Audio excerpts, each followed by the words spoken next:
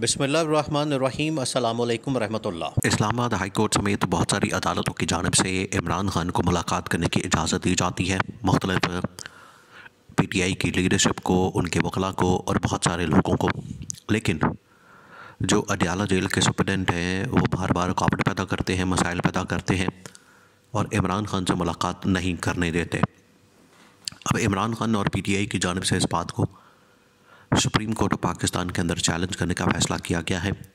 और supreme court of Pakistan में बहुत सारे और भी इश्यूज़ हैं। जिनको इमरान खान ने कहा है कि आपने काजी फाइज ईसा के सामने चैलेंज करना है पटिशन दायर करनी है, ताकि मामला आगे बढ़ सके। अब ये इंतहाई अहम इशू है आपने इसको समझना है। देखें जो इस वक्त इमरान खान के साथ हो रहा है, ये पाकिस्तान में पहली मरतबा हो रहा है। इमरान खान को आइसोलेट करके, इमरान खान को कैद तन्हाई का शिकार करके, इमरान खान के ऊपर प्रेशर डाल के सरेंडर करने पर मजबूर करने के लिए डील पर मजबूर करने के लिए प्रेशराइज किया जा रहा है। ये पहली मरतबा हो रहा है पाकिस्तान में। नॉर्मली क्या होता है कि महीना, दो महीने कोई भी सियासी शख्सियत जेल के अंदर गुजारता है। जैसे शरीफ ख़ानदान, जरदारी ख़ानदान है। इवन के पीटीआई के अंदर से बहुत सारे लोग वो जेल नहीं काट सके, छोड़ के चले गए।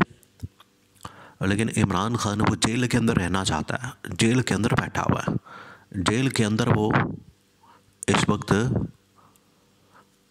अपनी जंग लड़ा है और जो बाहर बैठे लोग हैं, जो ताकतवर इदारे हैं, वो चाहते हैं कि इमरान खान को जेल से निकाला जाए, उसके लिए डील की जाए, इसको मजबूर किया जाए।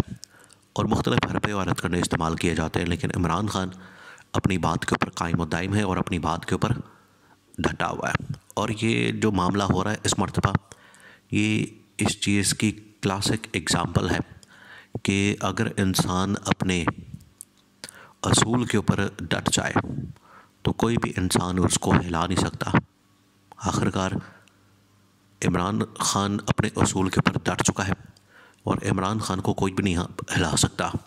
और जो इमरान खान को तोड़ने वाले, जुल्म करने वाले, ताकतवर लोग हैं, वो ख़ुद ब खुद कमज़ोर पड़ जाएँगे। खुद ब खुद और पड़ चुके हैं। क्योंकि इमरान खान इतना ताकतवर हो चुका है कि इसको हिलाना और इसको डील पर मजबूर करना, सरेंडर करना, वो अब नामुमकिन हो गया। इमरान खान उस स्टेज से बाहर निकल गया। उस फ़ेज़ से बाहर निकल गया। आज भी इमरान ख़ान के साथ, जब इमरान ख़ान के वकला या उनकी बहन अलीमा ख़ान मुलाकात करती है तो वो कहते हैं, इमरान ख़ान जेल में बड़ा कंफर्टेबल है। अभी शेर अफजल मरवत ने इमरान ख़ान के साथ ये रमज़ान के सिलसिले में मुलाकात की। तो बाहर आके उसने बताया कि मैंने इमरान ख़ान से पूछा कि आप कैसे हैं, रमज़ान कैसे गुजरा? चीज़ें कैसी हैं? ज़िंदगी कैसी गुजर रही है? इमरान ख़ान ने कहा कि मैं मलंगा आदमी हूँ। मेरी परवाह न करो। मुझे कोई फ़िक्र नहीं है। ये दुनिया की चीज़ों की, दौलत की, पैसे की, आराम की, सुकून की अयाशी की, मुझे कोई फ़िक्र नहीं है। ना मुझे इनकी तलब है। मैंने सारी ज़िंदगी अपनी बड़ी पुरसकून गुजारी है।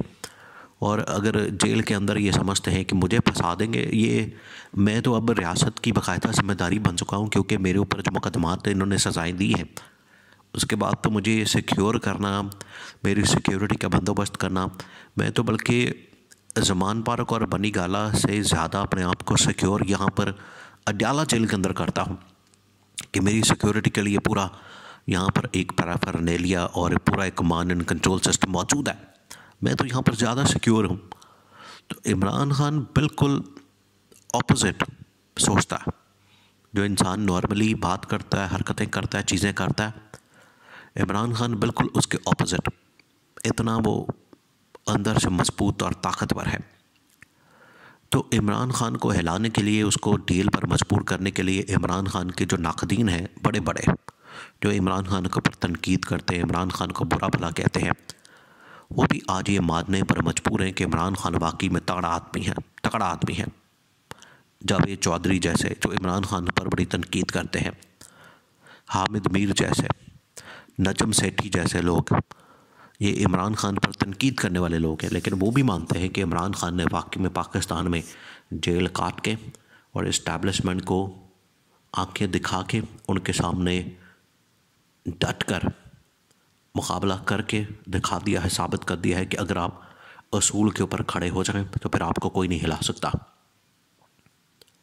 अब मसला ये आ रहा है कि इमरान खान के साथ पार्टी लीडरशिप और कारकुन और सपोर्टर्स और वर्कर्स और सबसे बढ़कर जो इमरान खान के वकला हैं, उनको मुलाकात करने की इजाज़त नहीं दी जाती।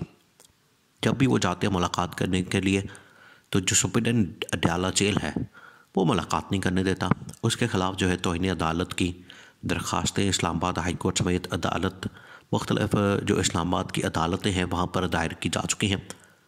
और इस्लामाबाद हाई कोर्ट ने तो सुप्रिटेंडेंट अडयाला जेल को इस हवाले से पाबंद किया है कि आप मुलाकात करवाएँ, इमरान खान की, जिससे वो मिलना चाहते हैं। और उनके पास इजाज़तनामा मौजूद होता है।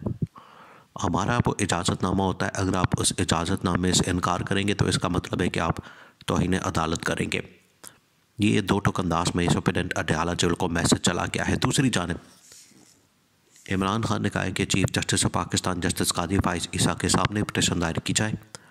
और वहाँ पर इस हवाले से केस लड़ा जाए। दो तीन हैं। एक तो ये कि मखसूस नशस्तें लेनी है। दूसरा ये है कि वहाँ पर अपना पार्टी सिंबल और पार्टी को बहाल करने के हवाले से, क्योंकि अब सुन्नी इतिहाद काउंसिल के साथ बाकायदा तौर पर जो डील है, वो नाकाम हो चुकी है और वहाँ से चांसेस बहुत कम है कि इमरान खान को अब सीटें मिल सकें।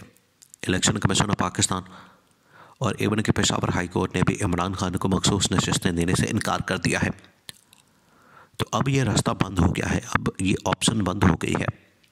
सुन्नी इतिहाद काउंसिल वाली तो वापसी का रास्ता जो है वो पीटीआई पीटीआई की बहाली, बल्ले का निशान की बहाली और अपनी पार्टी के ऊपर काम करना है। इमरान खान ने कहा कि जाए सुप्रीम कोर्ट पाकिस्तान में और वहाँ पर जाके आपने अपनी जो पार्टी की बहाली का मंसूबा है प्लान है, उसके ऊपर काम करना है, अमल दरामद करना है और उसको हर सूरत में बहाल करना है। और हमने अपनी पार्टी सिंबल और निशान के ऊपर इंतबात लड़ने हैं और मखसूस नशस्तों के साथ साथ बाकी सारे जो काम है अपने पार्टी से प्लेटफॉर्म से करने हैं।